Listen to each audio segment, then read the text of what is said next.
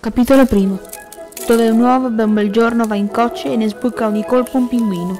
Dove si viene a sapere che anche i nomi hanno la loro importanza. E lui invece? Oh, lui non lo sa ancora, mio Dio. Sarà il più povero pinguino del mondo.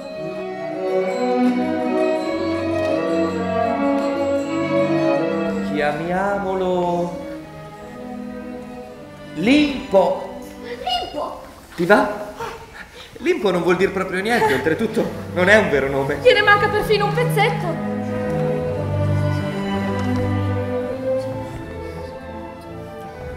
Arrivederci stasera. Vi porterò a casa, se posso, un bel nome.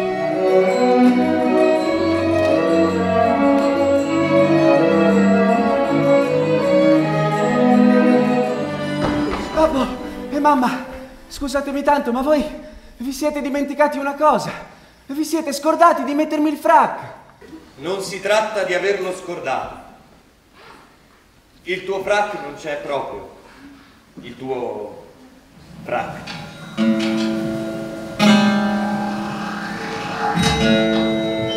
Limpo, noi non vogliamo avere rimorsi con te. Noi ti abbiamo messo al mondo, allevato, curato e insegnato a contare fino a sei. Ma ormai non possiamo darti neanche un soldo di più. Perciò, perciò, perciò, anche se questa è la soluzione più dura per noi, segui pure la tua strada, ragazzo, e che sia la migliore del mondo. Se sei povero e solo e per giunta in mezzo a gente straniera, apri bene gli occhi, la bocca, le orecchie e bada di far sempre da te. Occhi, bocca e orecchie sono gli amici migliori del mondo. Bello mio, eh, si può almeno sapere chi sei. Non mi pari né contorno, né carne, né pesce. Devo cambiare il mio sistema.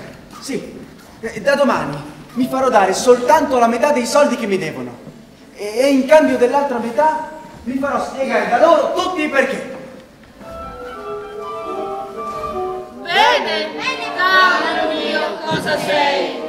Adesso che cosa ti devo? Beh, tenetevi pure il resto, signori, sciocchezze. E semmai, quando ne avrete il tempo ed il modo e la voglia, vi favorirete di dirmi perché. Ecco, vedi, lo sapevo. E come dicevo io, non ci si può fidare mai e mai di questa gente che viene di via. Ha capito subito che io sono matto, senza nemmeno vedermi. Ormai per me non c'è più speranza. Ma ormai è finita per te, Limpo. O- Ormai davvero è finita. Eh, forse è perché hai lavorato troppo quest'anno, o perché non hai avuto con te il babbo e la mamma carissimi. Un gruppo di uomini guardava laggiù, in mezzo al mare.